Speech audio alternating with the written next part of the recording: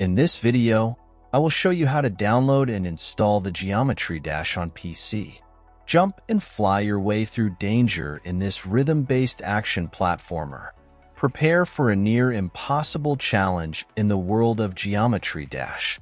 So let's begin downloading and installation process. First, we need to download the Steam app.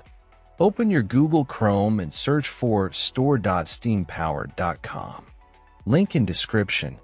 Click on the Install Steam button on this page.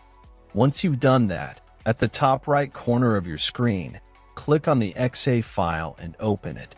Complete the installation, and once finished, open your Steam app. In search bar type Geometry Dash, and in drop-down you will see the game. If not, check video and description.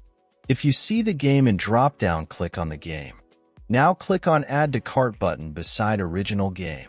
In New pop-up, click on View My Cart.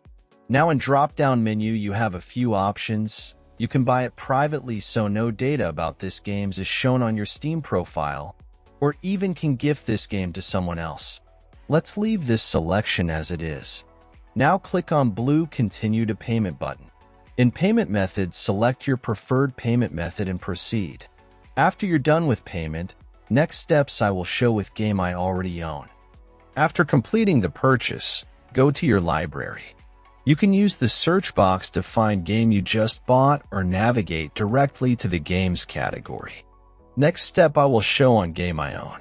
First, click on the game you want to play. Now click Install. Complete installation process. When installation completed, click to play. And that's all. Thank for watching, subscribe and help reach 1000 subscribers mark so I can make more tutorials. Thanks for watching.